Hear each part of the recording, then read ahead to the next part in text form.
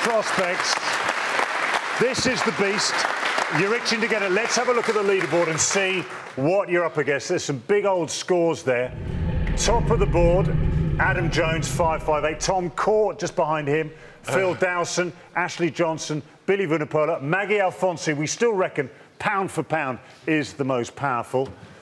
George, fresh from victory in the LV Cup, everyone's staring at you. Yeah. This is it. You look a little bit nervous. Oh, I am nervous. I had a few practice runs and uh, my heart went right up and uh, Okay. I got pretty knackered. but- Well, you've got to you've got to get grab hold of these bars, pull them towards you. So remember, it scores twice. It scores your hit, and then it scores your leg drive. Okay. So let's see how you go. Are you ready? yeah.